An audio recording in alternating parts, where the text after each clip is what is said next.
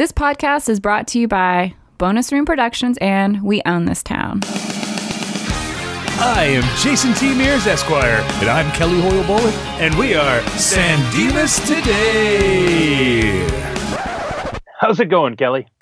JT, we've come far. We've come very far. We've come very far. We're we're down to the brass tacks here, man. We've got like one more official entry and then an additional unofficial entry, and then I don't know what we do with ourselves. Yeah, you know, we're going to have to come up with something else to talk about. And I know how hard that is for you and I. It is. It's it's really hard. I mean, when we're on the phone every night, we just sit there in silence.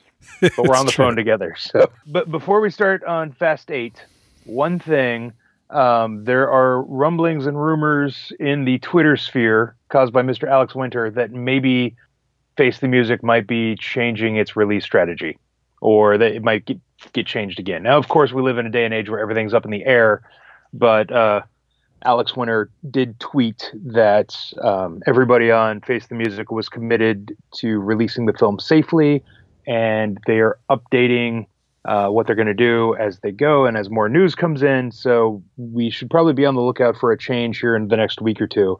I don't know if that's going to be a change in the release date or if they're going to look at, you know, digital download type release strategy. We'll, we'll find out. But it, it looks like there could be another change coming. I've been wondering how, you know, just in the last couple weeks with some movies that have uh, that have come out during these COVID times, uh, whatever you want to call it. The King of Staten Island, Judd Apatow's most recent movie, uh, mm-hmm. it did it did a release straight to video, but with a, a pretty high price, at least for the first I, I forgot what he said, first month or two of like the 1999 you know and i'm i'm yeah. really wondering how that's doing what those what those sales have been like.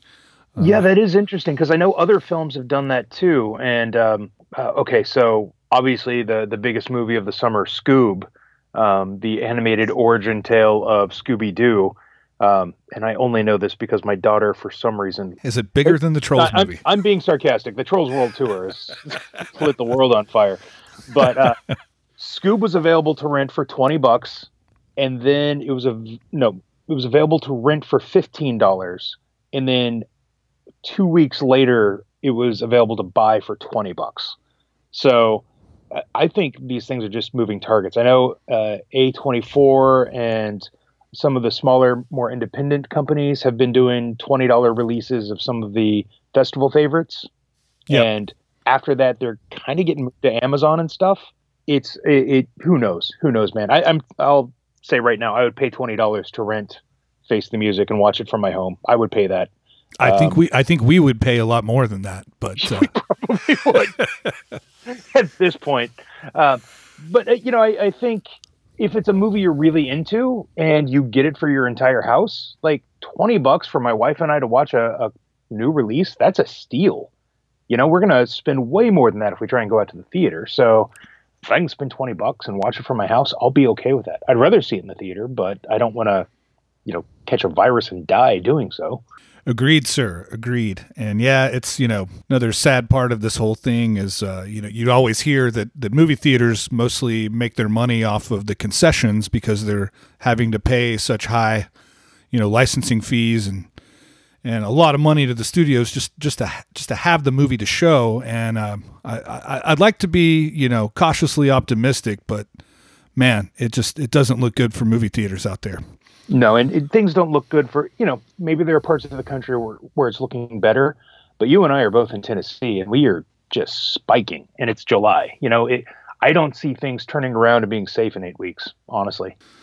Well, hey, on that note, let's talk about yeah! Fate of the Furious. Fate of the Furious. Eight movies, dude. Eight movies. Here we are. Eight movies. How do you feel? How do you feel? Eight in. You know, eight in, I'm I'm feeling pretty good.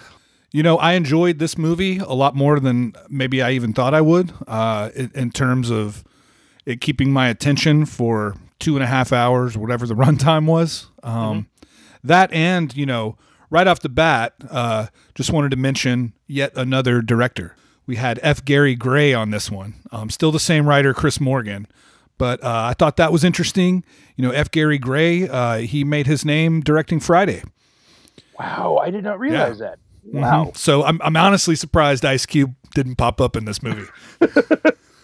Maybe he was a stormtrooper or something. I don't know. Yeah. And, and plus, how are you going to get Ice Cube in there when you've got half the cast of Game of Thrones, you know, in here? Good point. Good Yeah. point.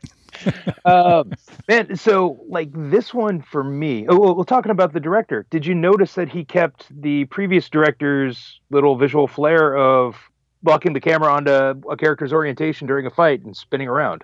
That's true. That's a good point. I did I did notice that.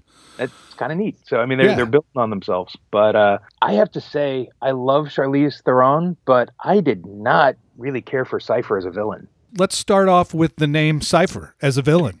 Okay, yeah, It sucks. it's it's awful. pretty terrible.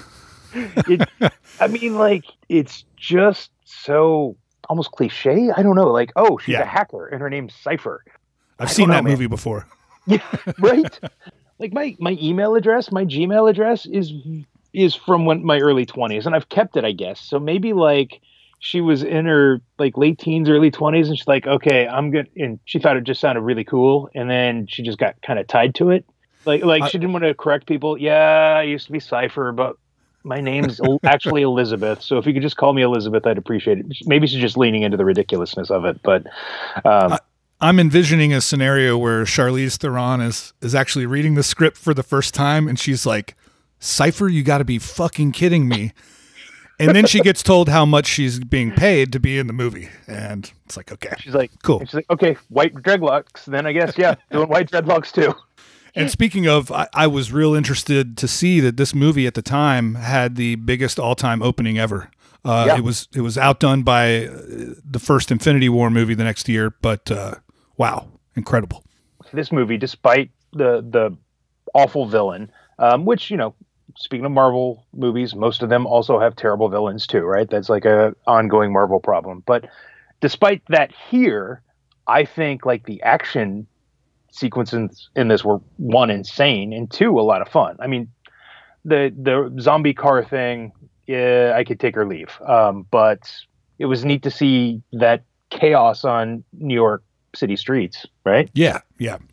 Shooting any movie in New York City uh, is such a monumental task. You can probably find great stories uh, of any movie that's had to been shot there, especially if they include Times Square. You know. Yeah, yeah. Speaking of shooting difficult action sequences, did want to uh, bring up the fact um, you and I have both talked about it since, but uh, in our discussion of the last movie, The Furious Seven, uh, we completely did not address two of like the biggest action sequences ever made, and uh, just you know apologizing to our listeners there, but you know we we really wanted to dig in on some other finer points. I think that's Yeah, probably you know, why. like, I don't think people who are still listening to us, this Bill and Ted podcast, talking about the Fast and the Furious, I don't think they're really looking to us to describe what happened on screen in detail. So I think we get a pass, but it was it was a definitely a glaring oversight on our part. And uh, apologies, dear listeners. We we're sorry.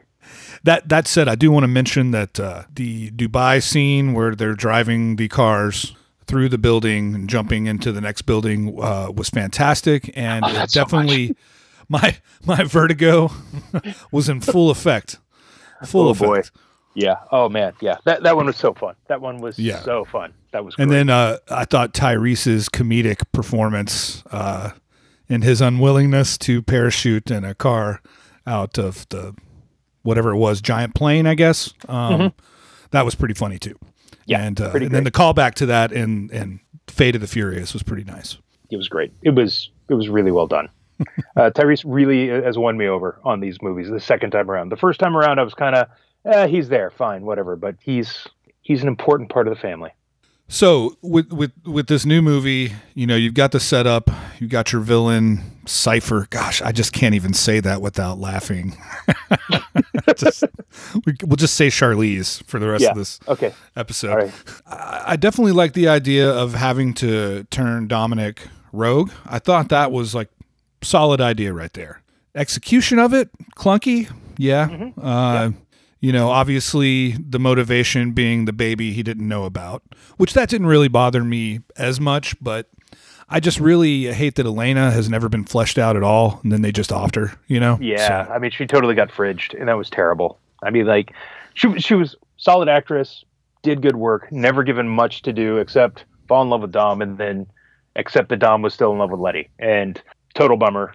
But the thing with the baby, and my favorite scene in any of these movies ever, is the end of this one with uh, Shaw and the baby doing the lone wolf and cub thing. Um, Yep. I just I love that so much. That's the best thing that they have ever done for my money. Just so good. Yeah, So- yeah. That that was far and above the big scene for this movie. You know, I I found you know some interesting comments online. Uh, I sort of did a little internet research because so much was made around you know certain members of the cast not getting along while they were shooting this, and did find it interesting that Michelle Rodriguez definitely called out the lack of depth for any of the female roles, and basically saying she was not going to be in another movie if they didn't do any better. So maybe that that's something to look for uh, in F nine. You know. Uh, maybe, but I think, spoiler alert, that might be getting addressed by another spin-off that's going to be the um, basically females of Fast and the Furious. They're going to have their own film. Oh yeah, you you had mentioned that, uh, and that's I haven't seen a whole lot about that, so I didn't know if that was definitely happening or not. My understanding is it's still happening. Uh, Of course, everything's on pause now. Um, Yeah. So we'll see. I also think there might be another Hobbs and Shaw sequel that's in the works. So, you know, you've got the expanded universe. But I, I think the way that they're really dealing with that, and hopefully they'll get more uh, fleshed out in the actual main series. But I, I think the main thing that got her back on board for Fast Nine was the the spinoff. All right, so moving along here, um, of course, you know the biggest thing that made me feel the best in this movie was the return of Mister Nobody. Uh, Yep. You just can't go wrong with Kurt Russell, and definitely love the addition of his protege, Little Nobody, played by Clint Eastwood's son, Scott. Yep, yep. Anytime you can get Kurt Russell back in these movies, it, it's a it's a great day. That was a lot of fun. Always good seeing him. I I love the prison break. I love the prison break. That was so much fun. Yeah. The prison ba- break scene is my second favorite scene in the movie, um, with number one being the uh, soccer scene at the beginning of the movie. yeah, we, we talked about this on the last one. Like making The Rock a dad is just Yeah. a great choice for that character. Great Mhm. choice for that character. Love it to death. Love it to Mhm. death. Yeah. and uh, it was it was really neat. The you know I, I can't help but think it was probably Dwayne Johnson's idea to do the entire Samoan war dance with with the soccer team. Uh, that was just Yeah. that was just a great dose of comedy right there. That that was fantastic. Um, how did you feel about the submarine? You know, I mean, it was it was the submarine was fine, I guess. Uh, you know, it, it it seemed like they just brought it in because hey, what haven't we done yet? What what ground have we not covered in an action movie? We need a we need a submarine. Right, right. yeah, yeah. I kind of kind of got that feeling too. It's like, okay, well, let's let's see. We did a giant plane. You know, we've done cars. We've done cars into helicopters. Let's let's get a nuclear submarine and do that. just just odd, just odd. Um, I love Helen Mirren's return. That was fantastic. Yeah, uh, uncredited cameo is what they say. Oh, nice, nice. That was interesting. Yeah. you know the biggest thing missing from this movie you probably realized it or maybe you didn't even realize it but this, one thing that has been featured heavily in all of these films corona Ooh, you're right. There There's is no no Corona. corona. there's no corona in this movie You know, maybe he's switched to Belgian ale for good now. probably that's probably what happened yeah, yeah. It, it also I, I gotta say it felt really weird in this movie like i definitely felt paul walker's absence that was something I was thinking about. Maybe his role uh, got diminished, you know, over the years. Uh, maybe he was outclassed by other actors, but I think you've been right this whole time. He really is that thread that kind of ties it all together, uh, keeps that family aspect in there. And one might say that not having him on the set uh, did the same thing, you know, with every with all the actors. oh man Um, i think you're i think you're right on there i think you were right on there i hadn't even considered the the behind the scenes Yeah, But, yeah. I mean, I mean, it seems to me, with everything I've been reading, it's like we, we basically have Hobbs and Shaw, so Dwayne Johnson can be in this series and not have to act with Vin Diesel.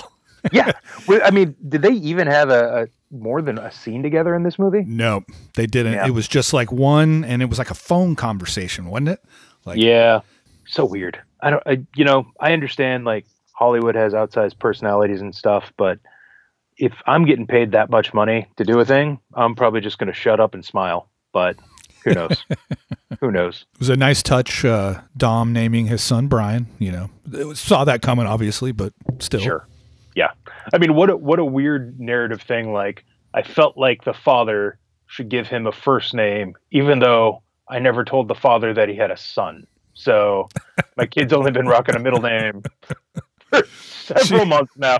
I'm holding off on filling out that birth certificate until I find the time to tell my son's father that he has a son that he needs to give a name to. Ah, she really. And honestly, she- she probably could have just written in Brian anyway, right? right, right. She knew where that was going. Glad she thought it all through before she got executed. All, all I'm saying, parents, is name name your children fully before you're abducted and held prisoner on a plane, because you never know what's going to happen after that. Uh, Nathalie Emmanuel pretty sidelined in this one. Yep, she basically got relegated to other hacker and uh, love triangle.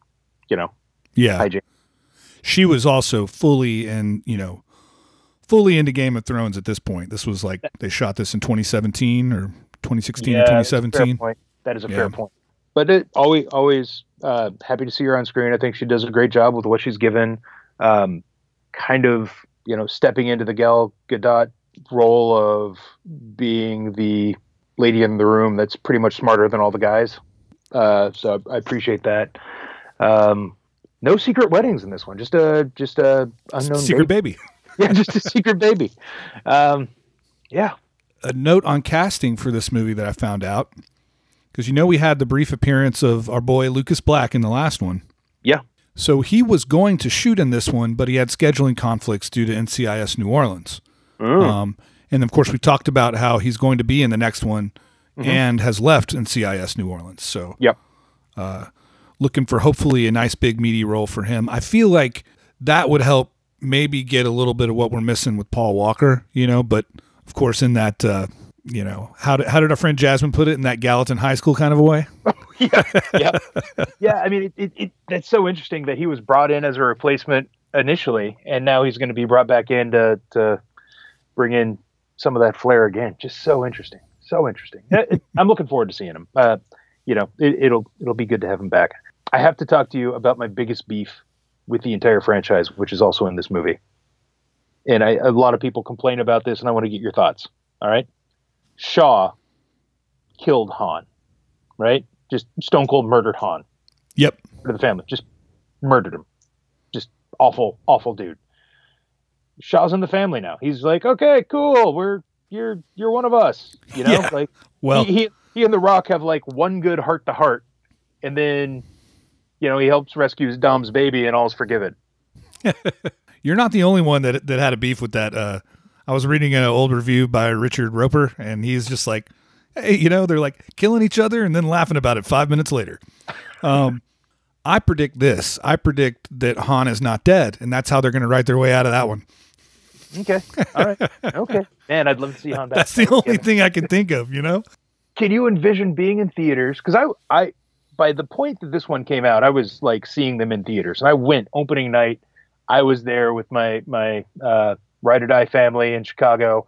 We watched this movie, and all of us were like, "That was great," but how the hell do you like square Han's death? It, it it's baffling. So I think you're probably right i i with the the history and what we know about this franchise, and especially Han being dead or not, and altering timelines.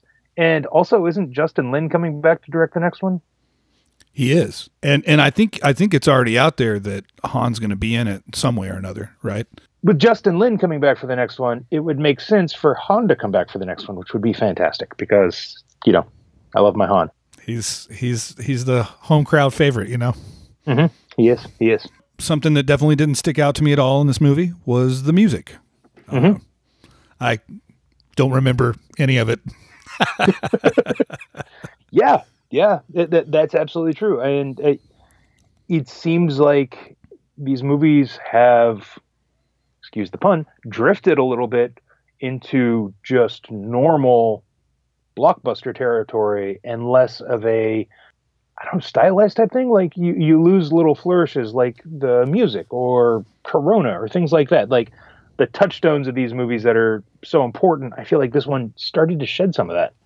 You know, another another good spot that I really enjoyed too with this film was the opening scene in Cuba. Yeah. Um, Yep. with that race, and I even found something where uh, there was there's actually a professor cited for uh, commenting on the political significance of that opening scene in the context of U.S. and Cuban relations, right? Because you have you have the whole. Uh, you know, one guy wins the other guy's respect, that type of thing. Um, but Nice. I, I thought that was great. That was like, that was just a nice throwback um, to the original feel, you know? Yeah, it, was. Like it started out with a, a a unique race, but also what it did was it allowed Dom to show his philosophy with other people, which does actually, now that I'm thinking about it, tie in with Shaw and, you know, like changing his heart, you know? lot, lot of forgiveness in old Vin Diesel, unless you're. Dwayne Johnson. right. Right. And that, that's that's the one bridge it's too far, I guess. Well, man, uh, what do you think is going to happen in Hobbs and Shaw? What do you know about Hobbs and Shaw? What do you think is going to happen? I, you know, I know nothing about it. Um, don't know any of the cast, nothing on the storyline. Uh, just know that Jason Statham and Dwayne Johnson will be in it. Um, and I feel like you've got all kinds of possibilities there. You know, I don't know how much it's really going to tie into the, you know, thread of, of, of the main sort of storylines for everyone. But it seems like you could give them just about any adventure uh, or set of hijinks to get into. I, I would love for like Mr. Nobody to be the guy, like sending them out on whatever they're going to do in this film, because I'd love to keep around Kurt Russell, that's for sure. Yeah. But you know, I'm just excited. Uh, I'm glad that I'm kind of going in blind. Um, I Oh, know, I know it was pretty well received. So it, it, it's a lot of fun. It, it it really has a lot of, and I and I mean this in the best way possible. It has a lot of good Michael Bay qualities to it.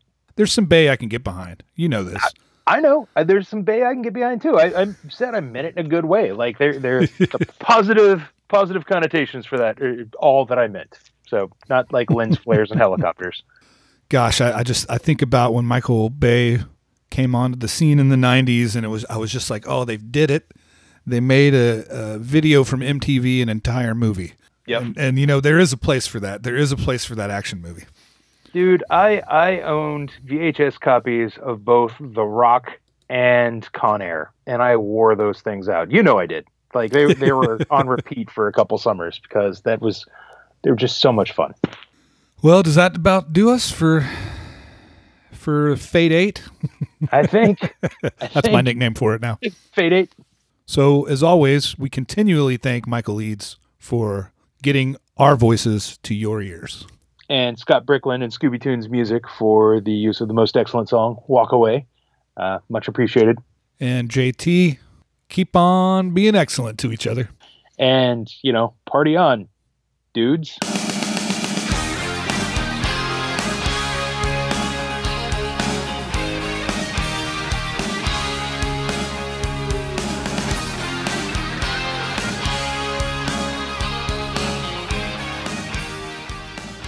Hello, sir.